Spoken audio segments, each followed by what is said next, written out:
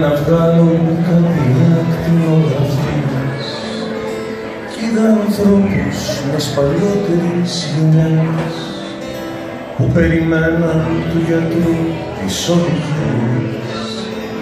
Είχες ησυχία λες και μπήκαν σε γερό κι είχαν όλοι του πατέρα μου τα χρόνια. Ο καιρός μου έχει πια πεθάνει από καιρό.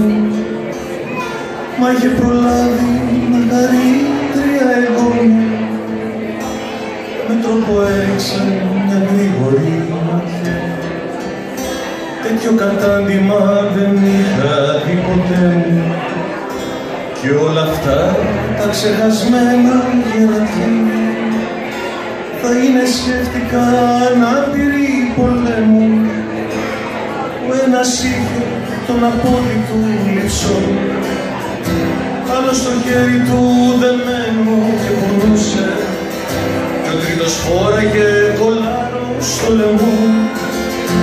Και ένας άλλος στην κυρά του κουβαλούσε. Μόνος μου πήγε στον πατέρα μου ξανά ιστορίες.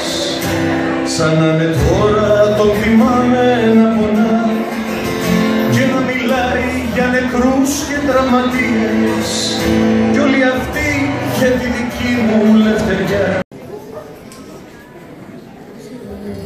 Η Ρωμιοσύνη μην την